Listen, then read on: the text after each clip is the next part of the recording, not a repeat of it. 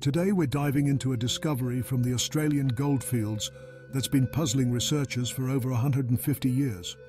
We're talking about the Ballarat gold nugget chain, a piece of manufactured jewelry found inside a solid gold nugget during the height of the gold rush, raising questions about how modern metalwork ended up embedded in naturally formed gold. Picture this. It's the 1850s, and the Australian gold rush is in full swing. Miners are flocking to Ballarat, Victoria, hoping to strike it rich in one of the world's richest goldfields. Among these fortune seekers are miners who make a discovery that defies explanation. A gold nugget containing what appears to be a manufactured chain link embedded within the natural gold formation. The discovery was made during the early days of the Ballarat gold rush when miners were pulling massive nuggets from the ground regularly. But this particular nugget was different. When it was broken open or examined closely, it revealed what looked like a small section of manufactured chain completely enclosed within the natural gold matrix. Now, let me explain why this discovery seemed so impossible to the miners who found it. Gold nuggets form through natural geological processes that take thousands or even millions of years. Groundwater carrying dissolved gold slowly deposits the metal in cracks and crevices in rock formations. This process creates the irregular, natural shapes we associate with gold nuggets. For a manufactured object to be found inside a naturally formed nugget, it would have had to be present during the gold formation process. But the chain link appeared to be made with manufacturing techniques that were contemporary with the 1850s mining period, not ancient enough to have been present during natural gold formation. The miners who found the chain containing nugget were amazed by the discovery. Here was what appeared to be clear evidence of modern manufacturing embedded in natural gold that should have taken millennia to form. The implications seem staggering. Either the gold had formed much more recently than anyone believed, or somehow a manufactured chain had become incorporated into the nugget through unknown processes. Word of the discovery spread throughout the mining community and eventually reached the attention of researchers and collectors interested in unusual geological formations. The nugget, with its embedded chain, became something of a curiosity, though detailed scientific analysis was limited by the technology available in the 1850s. But as with many out-of-place artifact claims, the Ballarat chain discovery raises more questions than it answers. The most obvious issue is the lack of detailed documentation from the original discovery. Most of what we know about the find comes from second-hand accounts and stories passed down through the mining community.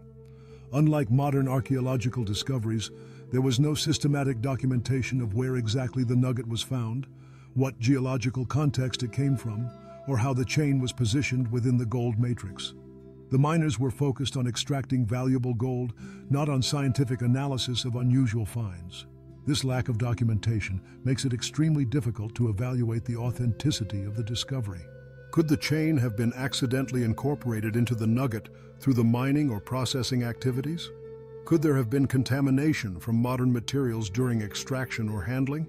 Gold nuggets found in alluvial deposits, areas where gold has been concentrated by water action, can sometimes incorporate foreign materials that were present in the environment during formation.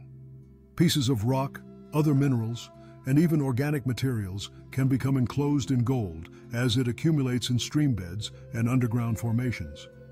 But manufactured metal objects present a different challenge. For a chain link to become naturally incorporated into a gold nugget, it would need to be present in the environment during the gold formation process. This seems highly unlikely given the apparent modernity of the metalwork. Another possibility is that the chain was introduced during mining or processing activities. Gold mining in the 1850s involved considerable physical processing, crushing, washing, and chemical treatment of ore-bearing rock.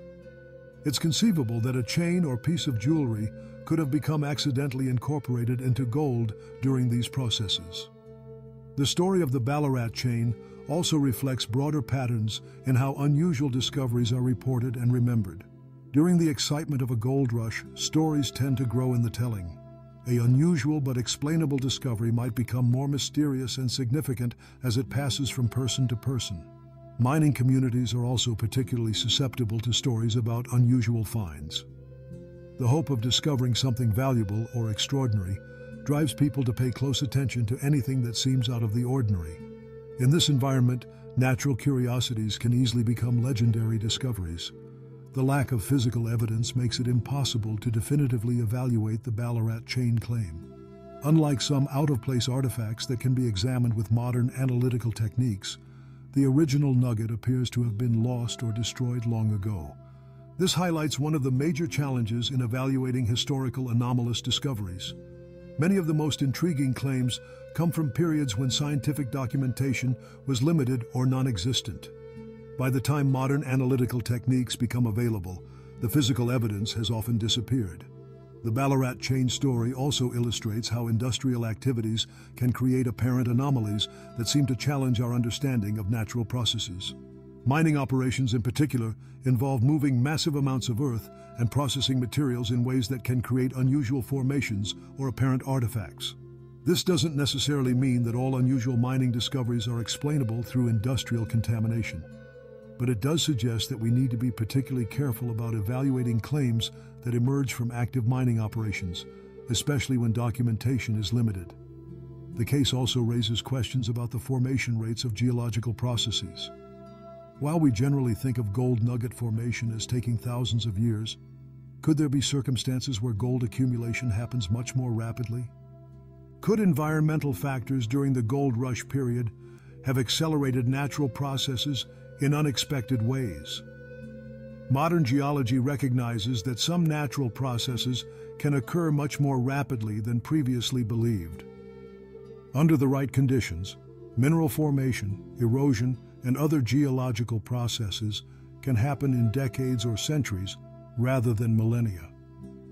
However, the formation of substantial gold nuggets still appears to require considerable time under known geological conditions. The temperatures, pressures, and chemical processes involved in natural gold concentration don't seem compatible with the rapid formation that would be necessary for the Ballarat chain story to be explained through accelerated natural processes.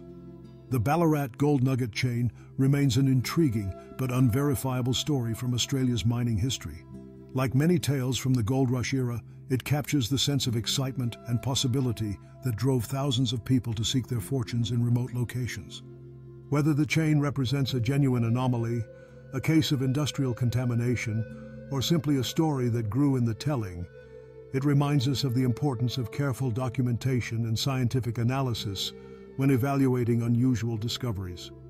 The story also highlights the challenges faced by researchers trying to understand anomalous claims from historical periods when scientific methodology was less rigorous than today. Without physical evidence or detailed documentation, we're left with stories that are intriguing but ultimately impossible to verify. The Ballarat chain teaches us to approach historical anomaly claims with both curiosity and caution.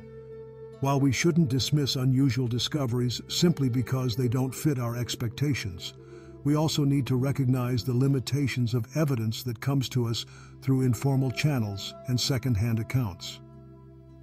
The next time you encounter claims about impossible artifacts or mysterious discoveries from historical periods, remember the Ballarat chain. Ask about documentation, physical evidence, and alternative explanations. But also remember that the absence of definitive proof doesn't necessarily mean that unusual discoveries didn't occur. What do you think about the Ballarat gold nugget chain? Could it represent genuine evidence of anomalous processes? Or is there a more conventional explanation for this mining mystery? Let me know your thoughts in the comments below. If you enjoyed this exploration of one of Australia's most puzzling mining discoveries, make sure to subscribe and hit that notification bell.